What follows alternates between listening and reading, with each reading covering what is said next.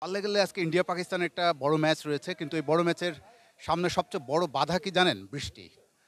ওয়েদারটা খুব একটা ভালো না। বৃষ্টি গুড়ি গুড়ি হয়েই চলেছে। ম্যাচটা আদেও সঠিক সময় শুরু হবে কিনা, শুরু হলেও ঠিকঠাক মতো শেষ হবে কিনা, আমরা আসলে কিছুই বলতে পারছি না। এই- এইটা আসলে এখনও পর্যন্ত যে ওয়েদার প্রেডিকশন তাতে খেলাটা নির্বিঘ্ন হওয়া খুবই কঠিন।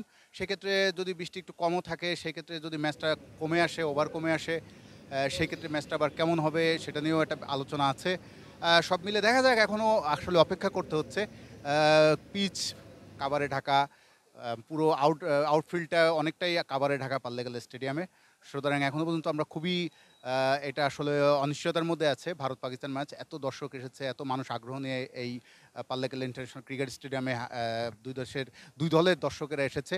আমরা সুতরাং সবাইকে এখন তাকিয়ে থাকতে হচ্ছে আকাশের দিকে। আকাশ যদি একটু সদয় হয়, সেক্ষেত্রে হয়তো আজকের ভারত পাকিস্তান ম্যাচটা হতে পারে এখানে। আমরা পাল্লাকেল স্টেডিয়াম থেকে আপনাদেরকে এই মুহূর্তে এই আপডেটটাই জানাচ্ছি।